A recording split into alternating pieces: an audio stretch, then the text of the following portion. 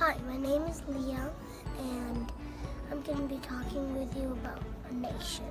So, a nation can sometimes mean that you go to like a different kind of country, and there's a flag that shows you where you are or where you go to see if you're lost or something. And it also shows you where, like, like where, like other people live do stuff for other people. That's My name is Judy, and I think a nation is the United States of America. Hi, my name's Ben. I think a nation is um, teamwork. Inez Mace, and I think a nation is the pe- where people should be nice to each other. Hi, my name is Derek. A nation, like America or the school, you can say a nation is kind of like a territory. When have you ever been in China, went to America, you're leaving your nation or your territory. You you are entering a new nation. When you enter a new nation, you don't know all you you you never know.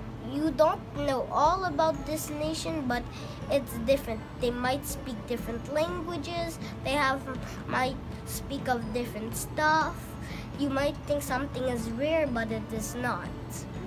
When you think when you think about the nation, you get more used to it because when you explore the nation, you can you can tell what the things are.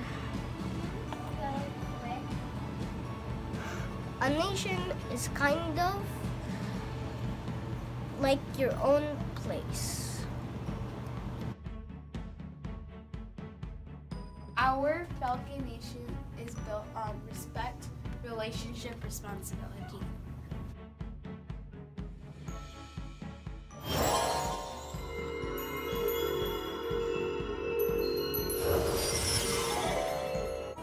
Being part of Falcon Nation is having to learn for other nations.